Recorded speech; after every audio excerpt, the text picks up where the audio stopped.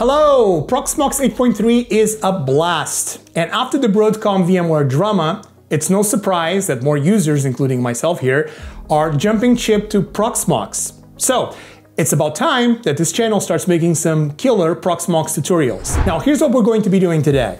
First, we'll create a bootable USB stick and install Proxmox from scratch. Then we'll get rid of those annoying subscription pop-ups for good. Next, we're going to be configuring the updates repositories and get Proxmox fully updated. I'll show you how to add extra disks, set up additional storage, and upload your ISOs. We'll build your first VM together, step by step, with tips on the best options to use. We're going to be learning how to create snapshots and backups and we're also mapping an SMB or CIFS location from your favorite NAS into Proxmox and create backups. We will do the infamous GPU pass-through and I'll show you my surprisingly simple method. Sounds good? Let's do this. Now to get started, we need to create the bootable USB stick.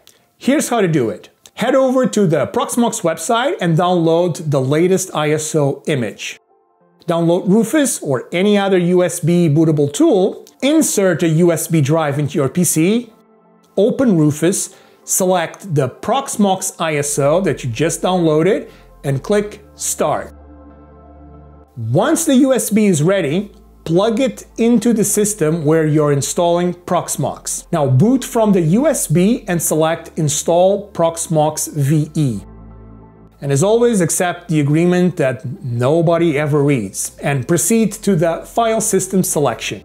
Now, let's talk a little bit about file systems. If you have multiple drives and want redundancy, ZFS is hands down the best choice. But if, like me, you are working with a single drive, well, my preference here goes to XFS. In my experience, it's significantly faster than the extended 4-file system, especially for handling larger files. And here guys, I won't pretend that I know all the file systems intricacies here or that I'm even an expert on file systems because I'm not, but XFS has worked a lot better for me and it's a lot faster than Ext4 for me. Next, Proxmox will detect your region set a static IP for the network configuration because as far as I'm aware, Proxmox doesn't really work with DHCP. So make sure the IP is available and not used by any other device. When you're ready, click next, sit back and well, let Proxmox just do its thing. Once the installation is complete, remove the USB drive, reboot, and voila.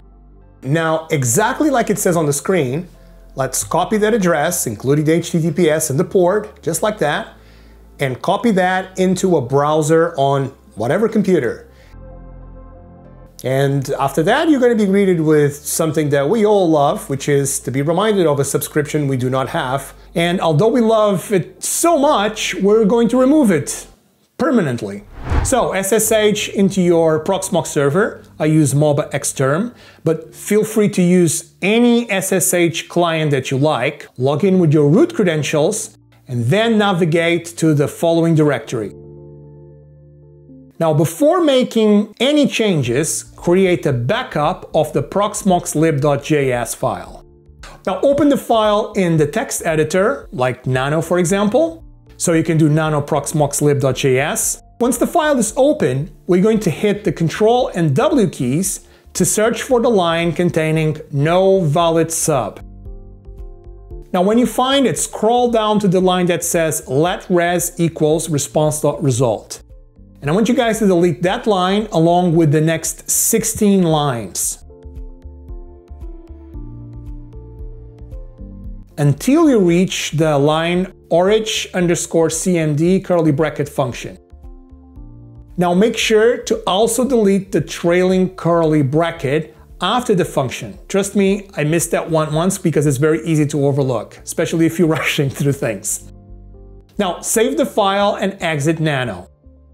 Then we start the Proxmox proxy service by entering the system control restart pve proxy.service. If everything went well, the subscription pop-up is gone. But if it doesn't work, no worries, just restore the backup with the mv command.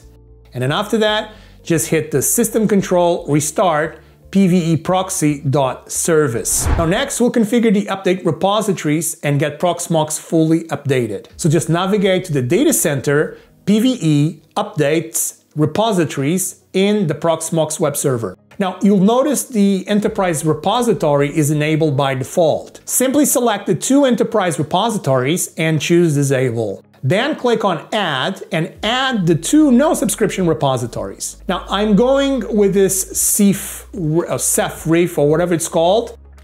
Then you can simply go to updates, click on refresh and update your server. Once it's done, your Proxmox server is fully updated and ready to go.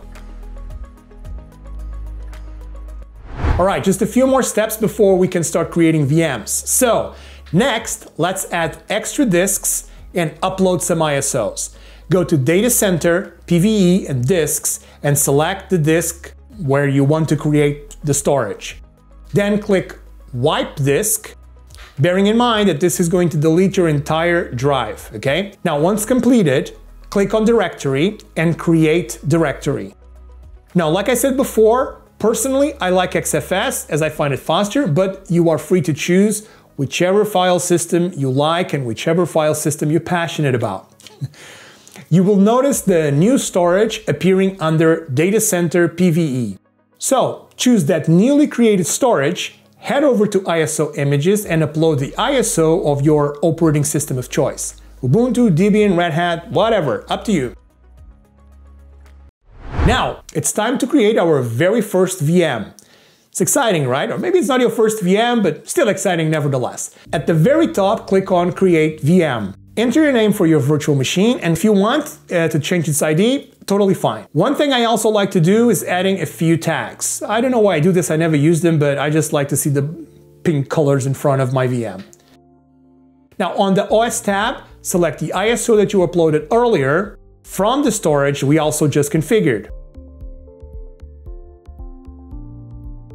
And for the BIOS, now over here, you might have to do some experimentation, okay? Especially if you want to do PCI pass-through with GPUs. For me, for example, I have a Gigabyte um, UEFI board, but the GPU pass-through only works with SeaBIOS. Believe me, I have tried. So for me, I'm leaving it as SeaBIOS, but you can try with UEFI first if you have a UEFI system all right? Okay, if you want to follow along like I'm doing, that's perfectly fine as well. For the machine, you can choose Q35 because their architecture allows us to use PCI Express.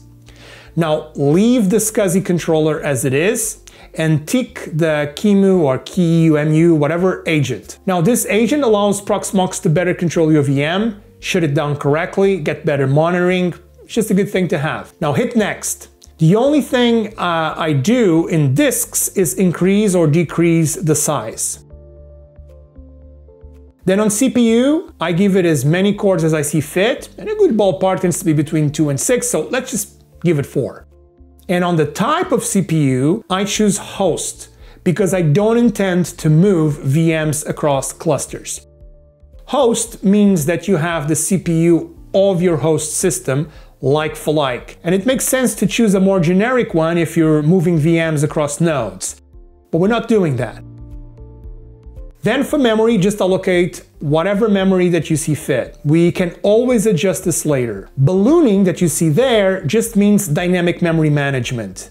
And you can leave this ticked. But when we do PCI pass-through, we will have to untick it. Now finally, network, just leave everything as is confirm everything and click confirm if you're happy. And that's it. All you gotta do now is hit start and install the OS.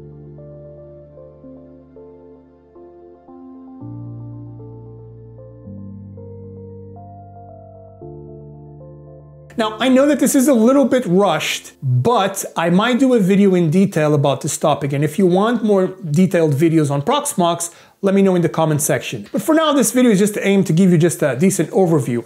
And if you are enjoying this overview, don't forget to subscribe and like the video as it really helps the channel to grow and so that I can make more videos for you guys. Now, one really cool thing you can do is once you have everything nicely installed, take a snapshot. That means that you can always restore your VM to this point in time where everything is nicely configured. It will never be as good as the moment you finished installing that operating system. Just hit snapshots, take snapshot, enter a title and a description, and then if you screw up, you can always get back here. I use this feature all the time, especially if I am about to do something that I am unsure or that I know that can potentially screw up my system. And the same can be said for backup. You can hit backup and backup the entire VM, including all the VM settings. But let me show you a cooler way to do this. And that takes us to the next point, which is mapping an SMB or CIFS storage and then perform a full backup. Now, go to the data center, storage, click add and select SMB slash CIFS. In ID, you just give it a name, and in server, you enter the IP followed by the username and password. If that works, you will get a pre-populated share and all you gotta do is select the correct mount location. Then on content, you select what you want to store. And for this demo, I am adding basically everything in there. What you can do is create a folder in your NAS SMB, um, you know, root like so. And then just enter the path here. Otherwise, you're gonna get a bunch of folders appearing out of nowhere in your root directory, you know, which makes things very, very messy. And that's it. Just click Add and you should see your NAS share appearing under PVE. You can just do your backups from here directly into your NAS. Just click on Backup, Add, and select a schedule. I usually leave the compression as default and the mode as snapshot and select the VM that I want to back up. Now once created, you can trigger it straight away if you want by clicking on Run Now. Okay, and now it's the time for the infamous GPU pass-through. And I have seen a lot of people following this tutorial right here, like for like, on videos and you know everywhere else. Now, before you go down that rabbit hole, try to see if it does work without any of this. So, restart your computer and go to your BIOS. Make sure that you have the iGPU selected. Remove it from auto mode and set it to the preferred display card. Also, if you have a monitor attached, make sure it's inserted in the iGPU. We want to leave the graphics card unassigned basically. Then you can boot up your Proxmox, go to your VM, and simply click on Add PCI device. If your GPU appears there, select the video option and take on all functions because you want the entire IO group bundle up. Since we also selected Q35 for the machine, we can also have the option to add the PCI Express, which I always do. Now, I only use my GPU and virtual machines for machine learning development or for transcoding videos for Jellyfin. And for that, well, all I need is Linux. So I never really configured my GPU pass-through for Windows. But if that's something that you want to do, you will most likely have to follow through the entire tutorial. Now, another thing you need to pay attention is that in some cases, your pass-through might work, but then you might end up with computers that won't turn off because the VMs can't terminate properly because they can't re release the IOMMU resources. If that happens, please follow the blog, okay? The blog that everybody refers to in Reddit, and I'll put a link in the description. Luckily for me, I didn't have that problem with neither my GTX uh, 1080 or my RTX 2080. But again, you might have a GTX 1080 that needs all that kind of stuff, you know? It really depends on vendor, on chipset, and architecture, and a bunch of stuff. But again, I might do a more dedicated video about this topic and explain all the ins and outs of GPUs and GPU pass-through. If that's something that you want, let me know in the comments. So I hope you enjoyed this video. Take care, and I see you guys soon. Take care.